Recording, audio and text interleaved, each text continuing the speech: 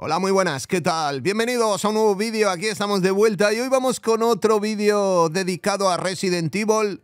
Ha salido una noticia bien interesante que lo mismo muchos de ustedes no conocían, así que vamos allá. Dice, salen a la luz varios artes conceptuales de un prototipo de Resident Evil 7 con Leon. ¡Bravo! Dice el insider, Das Golem comparte una serie de imágenes de una versión preliminar eh, de Resident Evil 7 que contaba con Leon y Cherry, quienes iban a Portugal a hacer frente a amenazas acuáticas. ¡Wow! Portugal, eso está ahí bien cerca, eso está a tiro de piedra, ¿eh? Oye, hubiera estado bueno, ¿eh? Resident Evil 7, Portugal. hubiera estado eso bueno, ¿eh? Hubiera estado eso bueno. Bueno, pues vamos a ver las imágenes. Es lo que nos queda, no nos queda otra. Bueno, aquí tenemos una de Lyon en lo que parece una ciudad ahí con palmeras. Esto Portugal no creo que fuera, ¿no? Y tampoco tiene pinta de, de ser España ni nada de eso. Pero bueno, las palmeritas, la torre, las barcas ahí. Hombre, los gráficos estaban un poco cercanos a Resident Evil 6, que era un poco lo que querían avanzar en este tema, ¿no? Oye, Resident Evil 6 era un juego que había estado ahí un poco maldito por sus mecánicas, por su más acercamiento a la acción y menos al survival.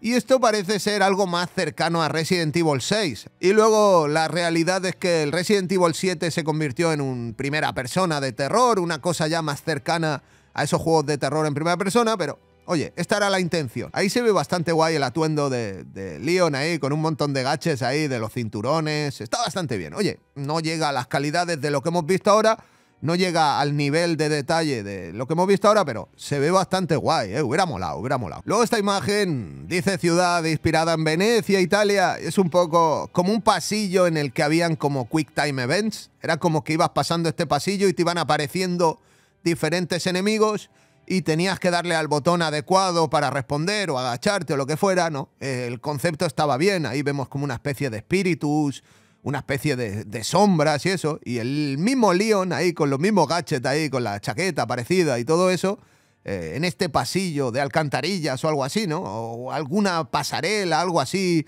interesante, pero lo que es la estética estaba bien guapa, ¿eh? la estética estaba bien, bien, bien chula. También nos dicen que había una demo de este trozo de unos 30-60 minutos de esta zona de como de Venecia y se hizo alrededor de 2013, 2014, 2012, por ahí estaba en esa época, pero luego pues al final no fue nada de lo que vimos en el resultado final.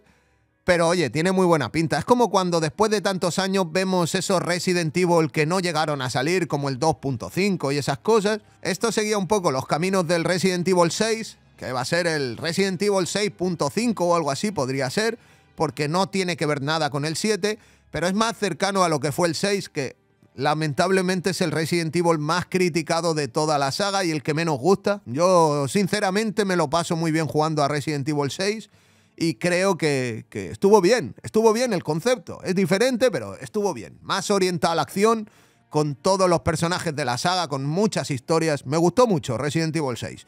Díganme por los comentarios si les gustó a ustedes también el Resident Evil 6 o también están en el bando de los que creen que es el peor. Por aquí otras imágenes, aquí un bicho gigante y ahí podemos ver lo que parece un Chris Redfield. Parecería algo más cercano a Resident Evil 5. Ese no es Leon, ¿no? Bueno, no sé ni siquiera si es un concept art o es eh, realmente algún personaje en concreto, pero oye, el bicho está bien grande. Se parece un poco al que vamos a ver en, en el remake de Resident Evil 4, el gigante. Tiene un, un, aire ahí, bueno, el bicho da bastante miedo, ¿eh?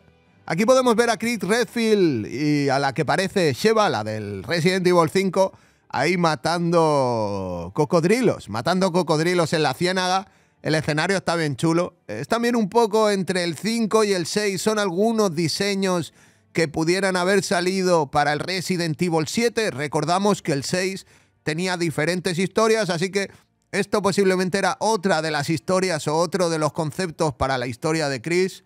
Y oye, está bien, ahí los cocodrilos saliendo del agua, el concepto, espero que lo reciclen alguna vez para alguna de las aventuras de Resident Evil eso de que vayas por el río y te vayan saliendo cocodrilos y esas cosas. Me gustó, me gustó. Por aquí una imagen ahí inquietante, un ser ahí misterioso con los ojos brillantes encima de un tejado en una caseta. esto puede ser bien reciclado para el remake de Resident Evil 4. La idea, el concepto de verte al tío montado en el tejado ahí mirándote, eso da bastante pánico, ¿eh? Conforme que entras y luego el tío te salta ya y ya se lía la tangana, se lía ahí los guamazos, pero está bastante bien. Oye, el diseño estaba bastante guay, aun siendo de una época pretérita, oye, que ya estaba la cosa como ya que había avanzado, pero tiene buena pinta. Oye, me gusta, me gusta el diseño. Por aquí algunos de los diseños también, este pasillo, esta casa así como parece asiática, ¿no? Con las paredes y todo ahí y las puertas algo más eh, orientado asiático. A la derecha podemos ver un 4 ahí, no sé si ustedes lo verán en la edición final, pero bueno, un 4 ahí.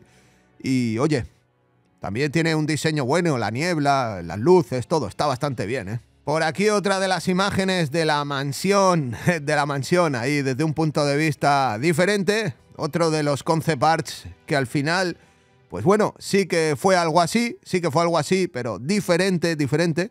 Pero bueno, ahí lo podemos ver, uno de los concept arts de la mansión de los Baker. Por aquí una imagen bien curiosa que también está en el hilo que pertenece a Assassin's Creed, ahí lo podemos ver. Se supone que esto es Constantinopla y diréis, oye, esto me suena, me suena que has hablado de ello. Pues mira, fíjense, fíjense, ahí lo tienen uno de los primeros diseños de lo que pudiera ser ese Resident Evil 6.5 y luego pues al parecer fue reciclado ese concepto para un Assassin's Creed. En este caso no sé cuál es el de Constantinopla, no sé cuál de todos los Assassin's Creed es.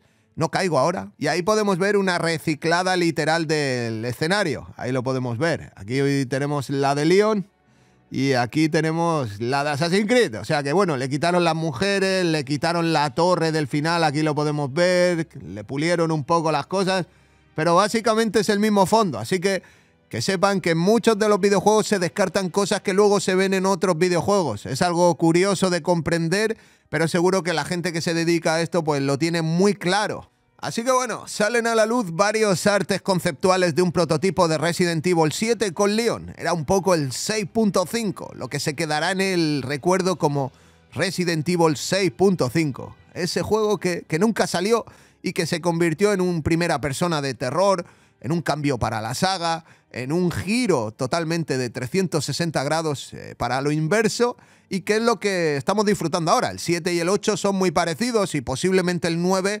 continúe la misma estela del fotorrealismo, de la primera persona, todo esto. Así que bueno, fanáticos de Resident Evil, eh, que entre los que me incluyo, por supuesto, Resident Evil 7 con Leon, una versión alternativa. Espero que hayan disfrutado de todo este contenido.